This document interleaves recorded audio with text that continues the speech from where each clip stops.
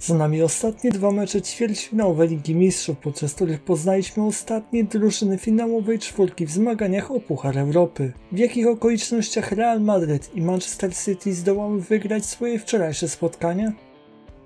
Starciem wczorajszego dnia był oczywiście kolejny rewanż za finał Ligi Mistrzów, tym razem z 2018 roku. Liverpool liczył, że w końcu pokonają swoich rywali z Santiago Bernabeu, z którymi ostatnio wygrali w 2009 roku, co zdecydowanie nie jest dobrym wynikiem, patrząc na rozwój Anglików od tamtego roku. Real był rozpędzony po niezwykle ważnym zwycięstwie nad FC Barceloną w sobotnim Clasico i wydawało się, że może są w stanie przypieczętować swój awans do półfinału.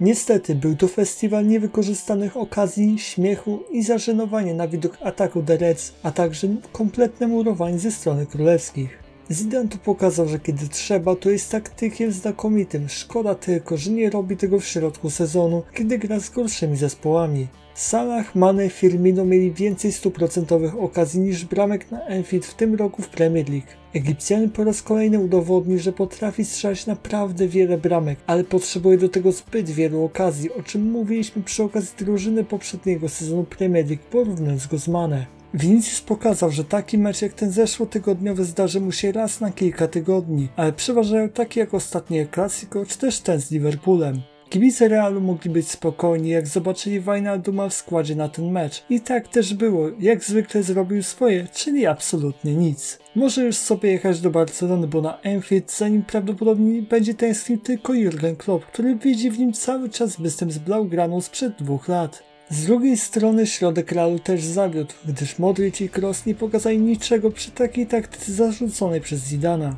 Ciężko znaleźć więcej pozytywów oprócz formacji obronnych w tym spotkaniu i szkoda, że nie skupiałem się na drugim spotkaniu. Militao i Nacho ponownie udowadniają, że nie jest tak źle, gdy już przychodzi co do czego podczas absencji Ramosa i Varana. Naszym zawodnikiem meczu zostaje Eder Militao, a antybohaterem Mohamed Salah.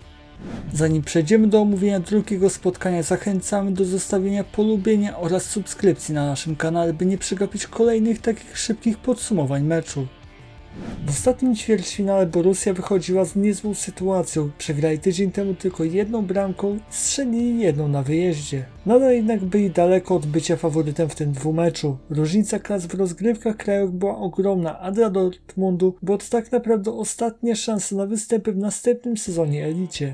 Niemcy z miejsca rzucili się na swoich przeciwników. To było jasne, musieli w końcu strzelić bramkę, by liczyć się w grze o półfinał. City znowu podeszło do tego meczu tak jakby im się nie chciało, gdyż ich akcje może i były groźne, ale pod polem karnym już wyglądało to miernie, znowu jakby chcieli wbiec z piłką do siatki. Piękna bramka Bellingama dała ogromne nadzieje Borussii, jednak wtedy znowu Emre Can był w centrum zamieszania przy straconej bramce. Czy tam była ręka? Moim zdaniem były mocne podstawy do odgwizdania jedenastki, ale w podobnej sytuacji w meczu Rakowa z Krakowią sędzia kazał grać dalej. Mimo wszystko i tak w drugiej połowie Borussia przestała tak bardzo atakować i nie zasłużyła na awans. Był potencjał, ale zdecydowanie zabrakło tu playmakera i Halanda w formie w polu karnym, co z pewnością dało więcej szans przyszłym mistrzom Anglii. Według nas na miano zawodnika meczu zasłużył Phil Foden, a na miano antybohatera Erling Haaland. I tak wygląda nasze szybkie podsumowanie ostatnich meczów ćwierćfinałowych tegorocznej Ligi Mistrzów. Na którą parę półfinałów czekacie bardziej? Dajcie nam znać w komentarzach. Nas z pewnością bardzo ciekawi starcie szejkowych drużyn PSG z Manchesterem City. Zapraszamy też na nasze social media, gdzie w weekendy pojawiają się podsumowanie wszystkich meczów polskiej ekstraklasy. Do nich linki macie w opisie tego filmu. Tak więc ja nazywam się Marcel Rutkowski z Just Culture Sports. Dziękuję za uwagę i słyszymy się już wkrótce.